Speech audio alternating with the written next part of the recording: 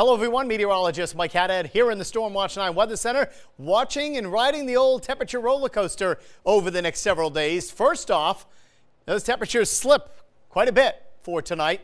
Mainly clear skies, light winds, and we're going to bottom out near zero along the Canadian border on average, single digits, very low teens elsewhere. But then during the afternoon, we get back close to the average for this time of year. At least the winds will be lighter, and we will have a lot of sunshine. So near 20 north, lower 30 south will actually feel a little bit milder than it did out there later on Monday afternoon. Then a few patchy clouds move in with a warm front on Wednesday, so not as cold later tomorrow night into Wednesday morning.